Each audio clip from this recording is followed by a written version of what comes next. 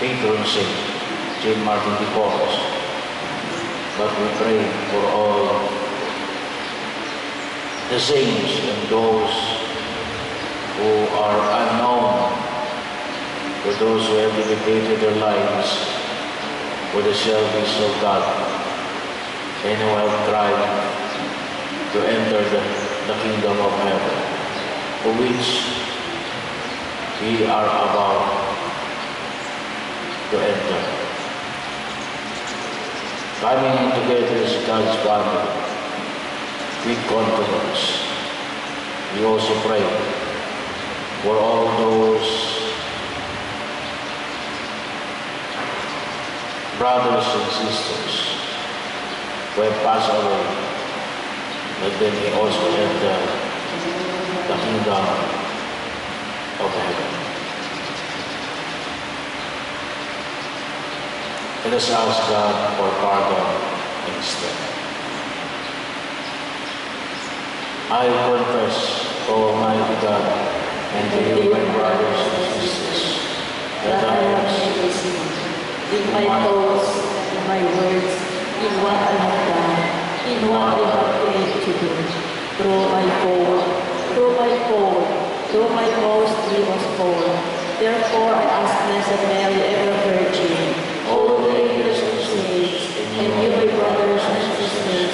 pray for me to the Lord our God. Almighty God, have mercy on us, forgive us our sins, and bring us to everlasting life. Amen. Glory to God in the highest.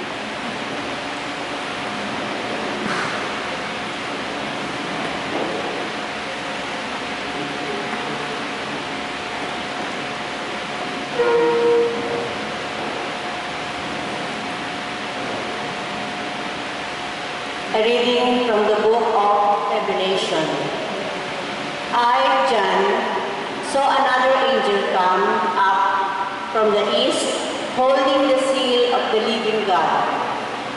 He cried out at the top of his voice to the four angels who were given power to ravage the land and the sea. Do no harm to the land or the sea or the trees until you imprint this seal on the foreheads of the servants of our God. I heard the number those who were no marked. 144,000 from every tribe of Israel. After this, I saw before me a huge crowd which no one could count from every nation, race, people, and tongue. They stood up, they stood before the throne and the Lamb, dressed in a long white robes and holding palm branches in their hands. They cried out in a loud voice, Salvation is from our God, who is seated in the throne and from the Lamb. All the angels who were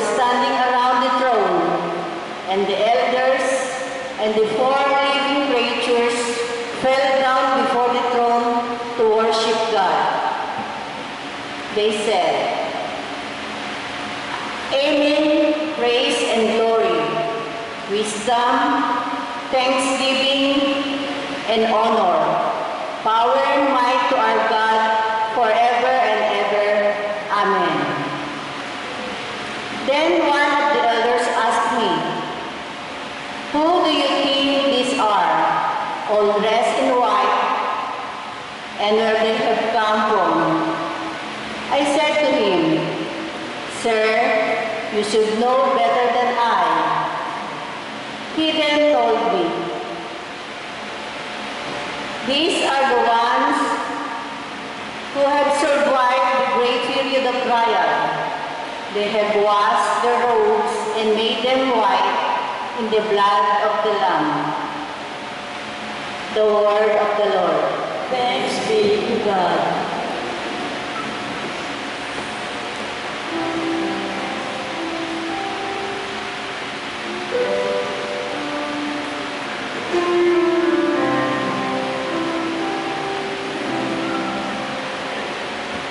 Lord,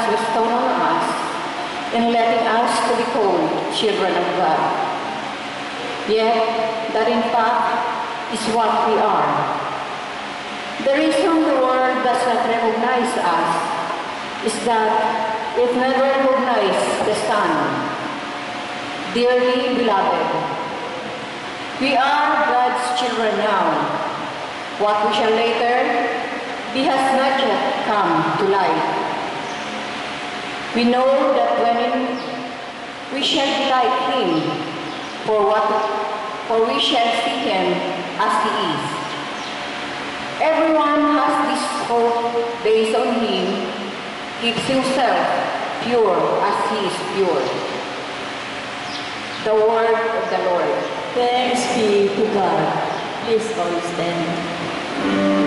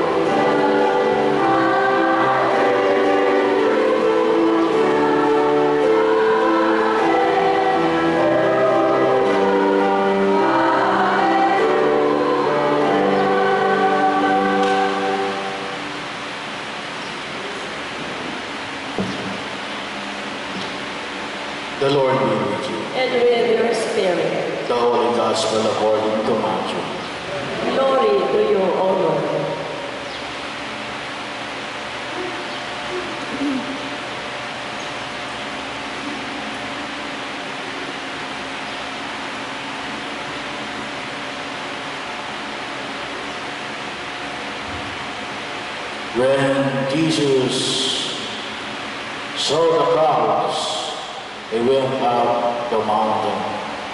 And after he had sat down, his disciples came to him. He began with them, saying, Blessed are the poor in spirit, for theirs is the kingdom of heaven. Blessed are they who mourn, for they will be comforted. Blessed are the meek, for they will inherit the land. Blessed are they who hunger and thirst for righteousness, for they will be satisfied. Blessed are the merciful, for they will be shown mercy. Blessed are the ocean of heart, the clean of heart, for they shall see God. Blessed are the peacemakers, for they will be called children of God. Blessed are they who are persecuted for the sake of righteousness, for theirs is the kingdom of heaven. Blessed are you when they insult you and persecute you, and utter every kind of evil against you falsely because of me.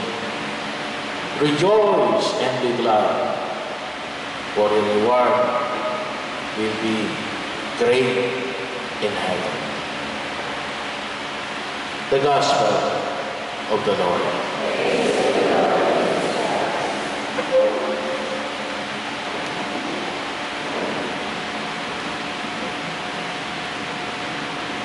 Yung walong pagpapala.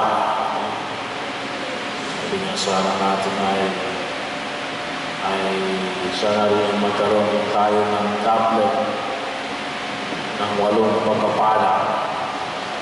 Meron na tayo dyan yung sampung utos ng Diyos. Bahagi yun na kung ay maging gabay natin para din tayo ay makarating sa kaharian ng Diyos. ang pag-asa katuparan ng malong pagpapala. Kaya nga ay ito'y maging bahagi ng ating patuloy na paghapon bilang mga nananampalataya sa ating Panginoong Yeso Kristo. Mapapalad ang mga duka, mapapalad ang mga nagdadalamati, mapapalad ang mga mapagkumbaba, mapapalad ang mga nahuuhaw sa katarungan, mapapalad ang mga maawain, mapapalad ang may malinis na puso, mapapalad ang mga gumagawa ng pagpagkasundo, mapapalad ang mga inuusig. So ito ay bahagi na kung saan ay binaanyaya sa atin ang buong nagkaba. Sabagat, sabi nga rito, rejoice and be glad, for your reward will be great in heaven. Yung pong ipinagdiriwang namin ngayong mga banal, yung mga hindi lamang po yung mga ipinagdiriwang na kabahagi ng kalendaryo ng simbahan, Common nino, kundi yung mga alam natin na naroon na sa kaharian ng Diyos. Para po sa atin siguro po yung nameless. Sapagkat hindi natin sila kilala. Pero sigurado mayroon. Sapagkat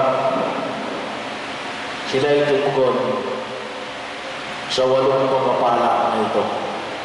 Ito rin po yung naging bahagi ng kanilang pagtugon upang makasunod sa kalooban ng Diyos.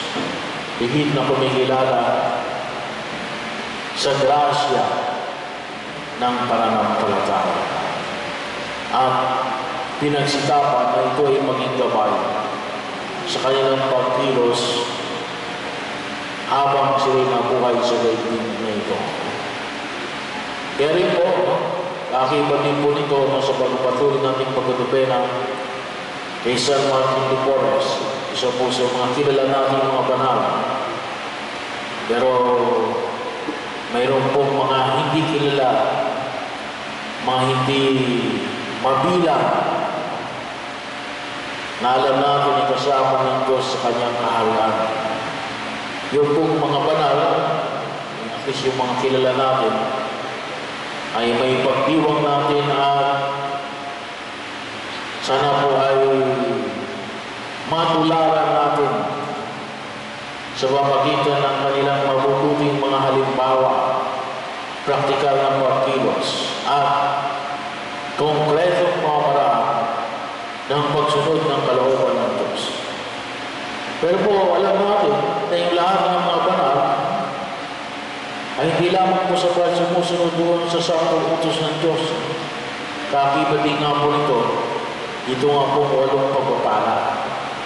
Kaya ito yung ginagamit natin na Ebanghelyo tuwing November 1. At kaya ang tawagin po natin sa mga banal, ay alin?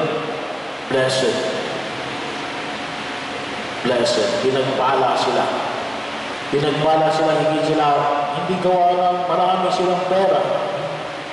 Pinagpala sila hindi sapagkat Kuntusin nga po, ano? hindi gawa ng maraming pera sapagkat dito sa pagpapala nakalagay alin. Mapapala daw mga duka.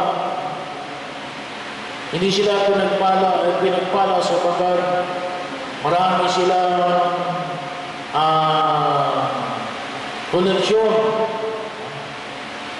Hindi sila pinagpala sapagkat sila ay ah sa pagkaunawa ng daigdig na ito. Kung sila'y pinagpala, sabagat gawa kong nabanggit na walong pagpapala na ipinamanig po ng ating Panginoong Heso Kristo. Kaya po ngayon sa pagkabarangal na sa lahat ng mga banal ay higit na pag bigay sa atin ng lakas na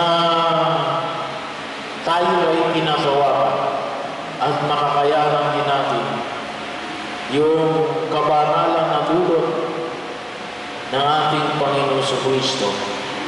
Lalong-lalo na upang makamit natin ang buhay na walang hanggan sa piling ng buong kapal. At sabi nga rin po natin, ngayon ay sinisimulan din po natin yung ating panalangin sa mga mahal namin sa buhay na namatay na. Bakit natin ay pinapanalangin? Ah, para sila rin ay makarating doon sa kaharian ng Diyos sa langit. Na sila rin ay makinabang sa pangako na ipinagkaloob ng Diyos sa bawat isang binyagan. So ito kasi yung pangako na ibinigay ng Diyos sa bawat isa sa atin ang tayo bininyagan. You will inherit eternal life. Ikaw ay magkakaroon ng buhay na walang hanggan.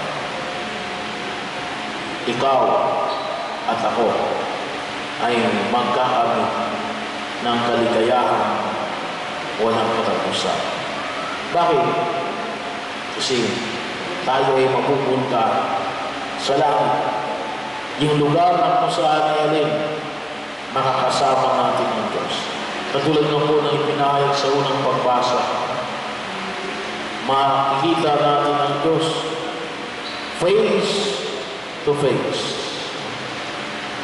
Kaya, isang kaligayahan na hindi na matatamo ng tao. Ano pong kahalagaan nito? Sa pagkilos natin, lalong-lalo na ngayong panahon na ito, ngayong makabagong panahon, no? ay kasi o ay parang paglabanan natin ang tukso ng materialismo. No? Lalong-lalo ngayong panahon na ito, ang pinagbabasihan lamang ay material. Nalin, makita natin nalin, mayroong eternal truths. Mayroong katotohanan na higit sa katotohanan na matatagpuan lamang natin sa daigdig na ito. At ano yung katotohanan na yan? Ah, ang katotohanan sa kabilang buhay. Yung katotohanan kung bakit tayo ay magsusumikap na tumugon sa panawagan ng may kapal. Yung katotohanan na higit nating panghawakan dahil ito yung itinuturo sa atin ng ating Panginoon na sa Kristo. Yun po yung pinaka-number one ang problema natin ngayon. Materialism. Hindi po yung hindi yung sapagkat gawa ng material, hindi gawa ng kayamanan. Ngunit kung paano natin ginagamit ang kayamanan. At kung para saan natin iniisip ang kayamanan ng daigdig na ito. Kasi yun ang sumisira sa tao. Kung ang pagkaunawa natin ng kayamanan sa daigdig na ito, ay yun ang ating pinaka-goal ay hindi yung gagawin magpayaman ka lamang.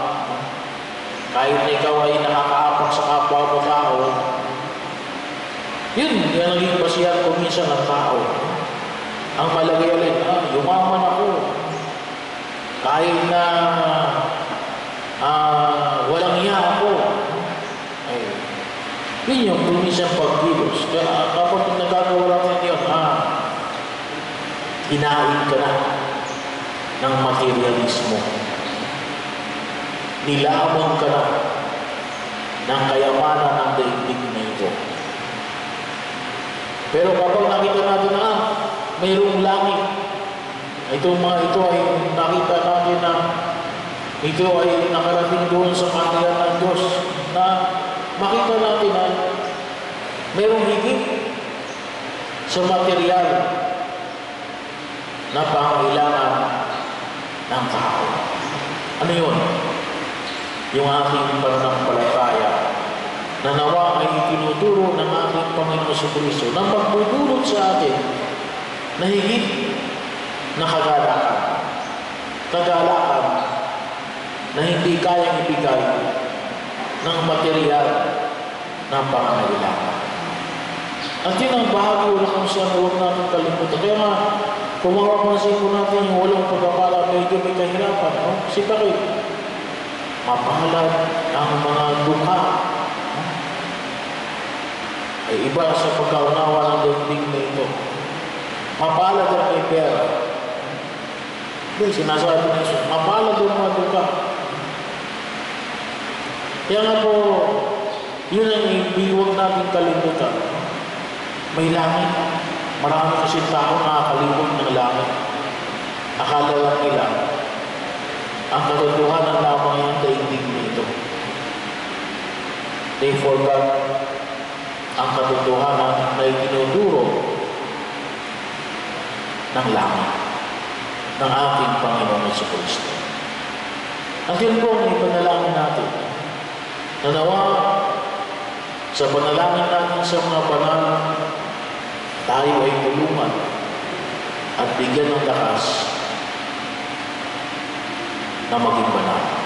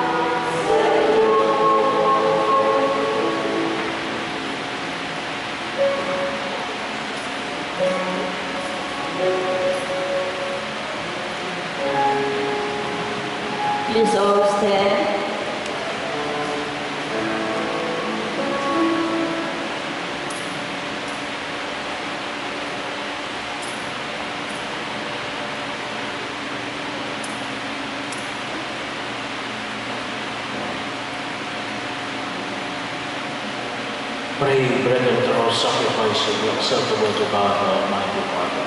May the Lord accept the sacrifice of your hands for the praise and glory of his name, for our good and the good of his holy church.